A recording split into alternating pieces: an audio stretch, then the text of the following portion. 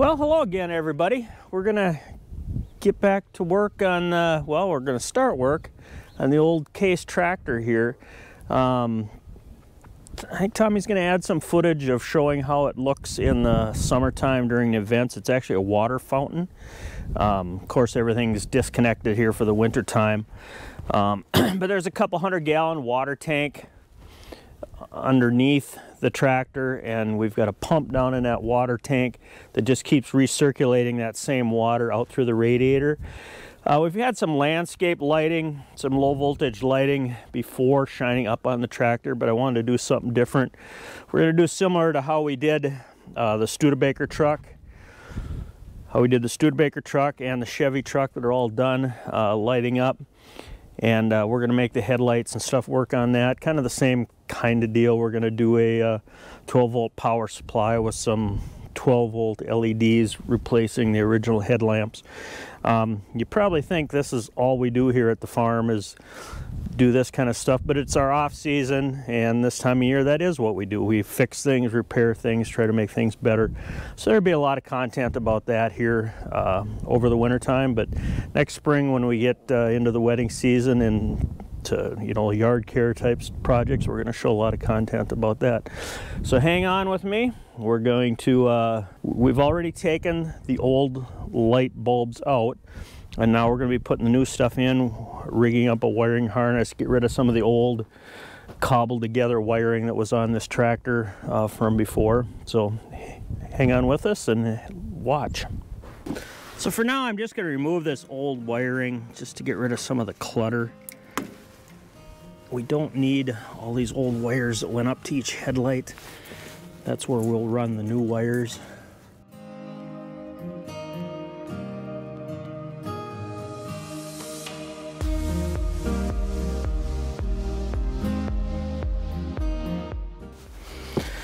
Well, we'll start here.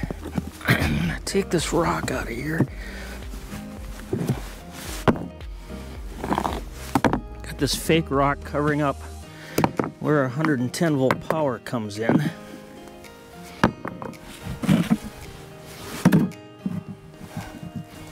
One of these we won't need anymore, and I'm not sure which one that is right now. I want to keep the one going.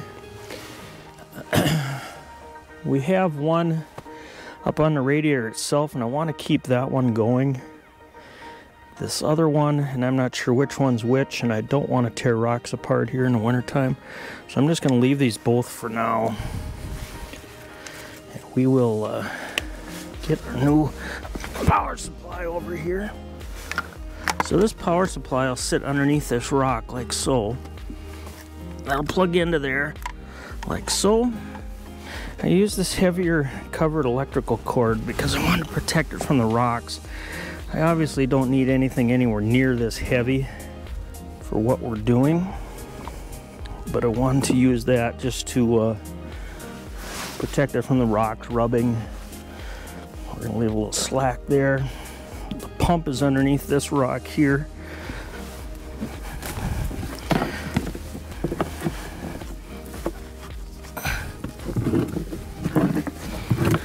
And then we're gonna run up something like this and come back to here before we go up. And I think I'm gonna have the junction up underneath here. Plenty of slack. Yeah, that'll work the junction up underneath the hood. The water kind of drips down. And like I said, I'm not gonna cover this up right now. Wait till next spring when I can haul the rocks in. I'm gonna clip that cord and then our junction will be here.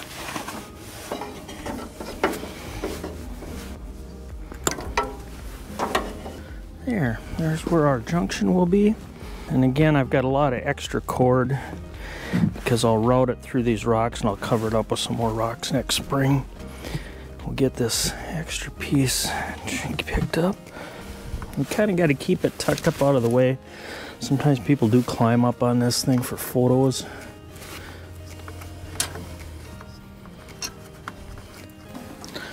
Yeah, that worked perfect. Perfect, perfect, perfect.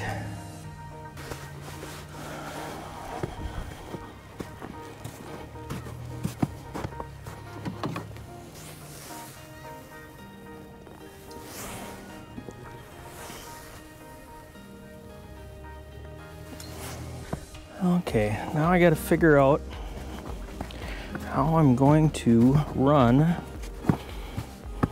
I've got this cord here. We'll have the junction up in here. There's some space. There's some space up in here where we can run that. But I got to get a wire then from that junction where that junction will be up under here and that'll protect it from the weather too. And we'll run up here like the old wire did up into that light. I got to figure out how we get in the back of that. Right inside of there.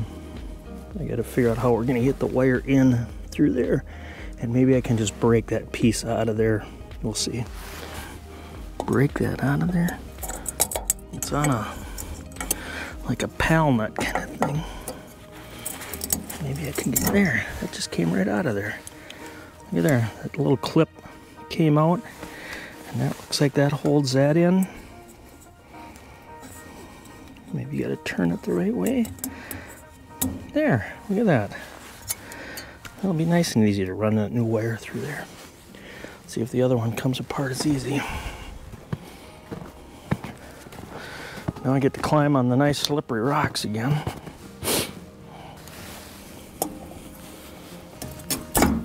Oh, look at that. That came right out.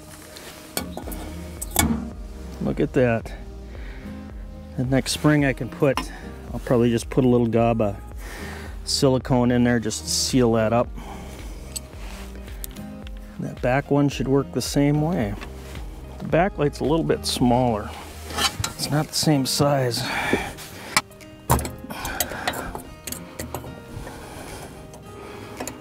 I can't get at that one as easy as the other ones because the other fixtures were bigger. You could get in there. Might have to get a pair of needle nose or something. I'll put you guys over here. This is kind of hard to hard to find a place to put you folks. Where I don't knock you over. Try to get this clip off of here. There, look at that. Popped right off of there. Pretty as could be. And we'll get this out. There. And we got an opening in that one to run the wire through in the back.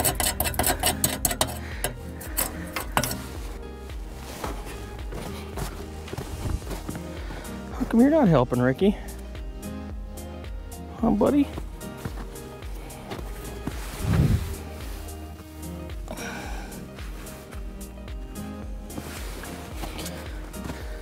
All right, now I get to run the new wire. We'll try to figure that out, how to route that. I think we'll come through the light, out the back. I think the wire originally ran through that hole right there, which is where we'll go. Go through this hole. There, should be long enough there. Give it just a little bit extra. Snip that off. Do the same thing on the other side. It's hard to find a place to put you guys with all these rocks here. This isn't conducive to good video. Between me trying to climb on these rocks and trying to find a good spot to put you guys. I'm trying to see here where the original wire actually ran. the wires that I just removed weren't, those were not the original wires.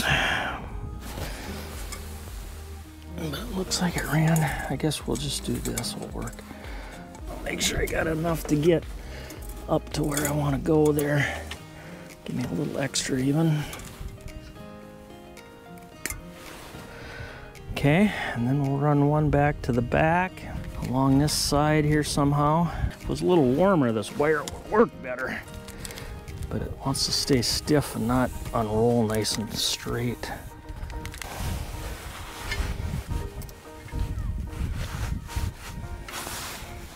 And we'll get these wires here strapped up a little bit. We'll get this back wire run through here.